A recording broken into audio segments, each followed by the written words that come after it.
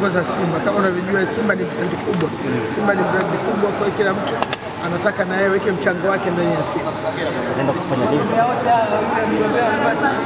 bado kwa sababu bodi haijakutana, ndio kwanza tumechaguliwa, huenda kutakuwa na maelekezo mengine tofauti, kwa sababu ndani ya bodi tunapangiwa kamati tofauti, huenda labda naweza likahamishwa hata kamati iliyokuwepo kwenye kamati nyingine, lakini kikubwa zaidi ni kufanya kazi kuhakikisha kwamba brandi ya Simba inaendelea kuwa kubwa na Simba inaendelea kuwa mafanikio kama ujua Simba ni ya kimataifa. Sera zilikuwa ni nyingi sana kwa wagombea, lakini wa wengi wameona wewe ndio una- unastahiki. Unahisi kitu gani cha pekee ambacho wamekiona kutoka kwako?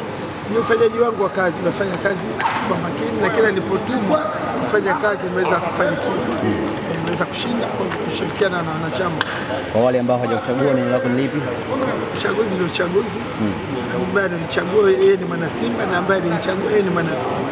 Kwa namna gani sasa unahitaji ushirikiano kwa pamoja kwa wadau wa Simba, wanachama, mashabiki kwa ajili ya kuweza kuendeleza maendeleo ya Simba mbele, kwa sababu kuna kipindi ilizoka maneno kwamba huenda kuna baadhi ya watu hawakutaka sasa watengeneze Simba.